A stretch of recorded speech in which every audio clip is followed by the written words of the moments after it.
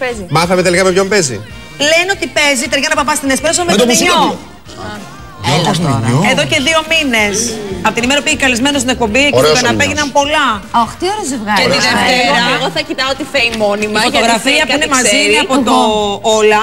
Ωραίος ο Νινιός. Παιδιά, νομίζω ότι ταιριάζουν πάρα πολύ, αν Εγώ είναι το μαζί. πιστεύω, αλλά δεν ξέρω σίγουρα αν Άκου είναι λίγο. μαζί. Τη Και είναι και Δευτέρα. ηλικιακά πολύ ωραία και μακάρι να παντρευτούν κιόλας. Τη Δευτέρα. Καλά, μην Για να μας- μας καλέσουν και στο γάμο τους. Για Ναι, να φάμε τσάμπα. Συγγνώμη. Να πάμε να πιούμε σε ανάποδα πιάτα.